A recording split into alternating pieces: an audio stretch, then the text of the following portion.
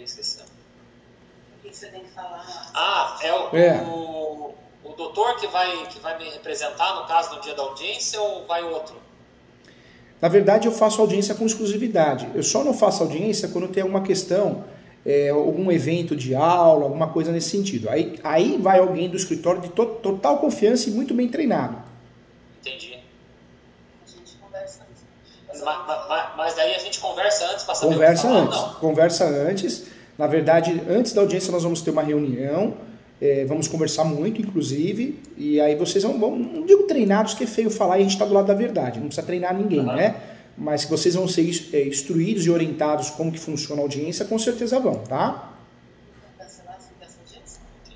esse- não tem como cancelar essa audiência, né?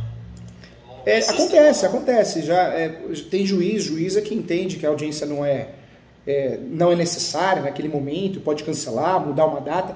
Por isso a gente conversa antes da audiência, normalmente um, dois dias no máximo antes, né? Ou, ou um dia antes. Porque a audiência pode, pode ocorrer sim. Ainda mais hoje em dia com a Covid. Eu falo isso porque só esse ano acho que umas quatro audiências foram remarcadas. Que o juiz, a juíza pegou Covid, alguém, da, alguém das partes. Então, é, acontece, acontece. Entendi. Então eu vou fazer o seguinte, eu vou fazer como o, o, o doutor falou, eu vou esperar chegar a carta. ali, E espera. assinar ali. Espera sim. Chegando, che, chegar essa carta, eu posso, posso receber e assinar tranquilo, né? Pode, pode sim, sem medo, assina, faz parte. E aí vocês falam com a Ana. Fala com a Ana, é, procuração, contrato de honorário do jeito que vocês quiserem, tudo certinho. Aí vem a ordem de serviço para mim, para poder executar a defesa, tá? Entendi. Não, agora já entendi, já, já, já sei, o doutor já passou o valor certinho. Mas tranquilo. Então, doutor, se por acaso chegar, que às vezes eu posso esquecer, chegar no dia a dia e perguntar assim, quem que deixou você construir? Você você pode falar. é, na verdade, é, você tem que bater que você tem 20 anos de posse. Que a sua posse é exclusiva, que você e a esposa pagam as contas com exclusividade, reforma, faz manutenções. É a verdade, é a verdade, ninguém está mentindo, né? Então, é, a nossa posse é o quê? Mansa e pacífica, com ânimos domínio e exclusiva. É, hoje, o uso capião que vocês usufruíram é o uso capião extraordinário.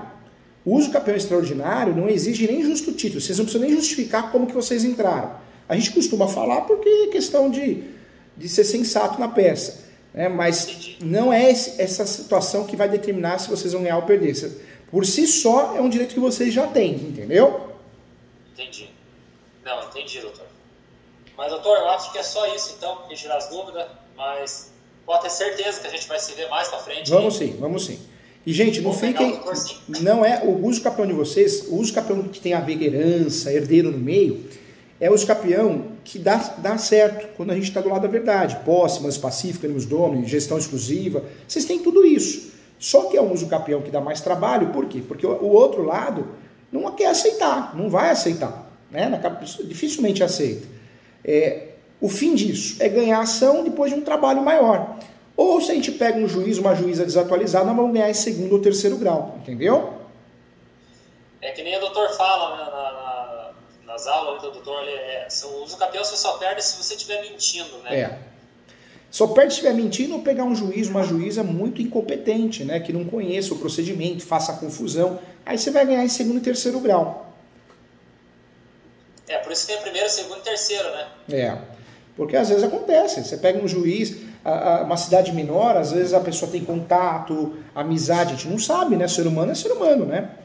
E- exatamente. então, a- a- Esses 5 mil, esses 5 mil, doutor, é pro, é pro doutor me, me defender na causa inteira ali da, da, da, do- da cobrança do aluguel? Isso, é isso mesmo. É os honorários. Ah, não, entendi. Entendi. É, é só, se, se, ou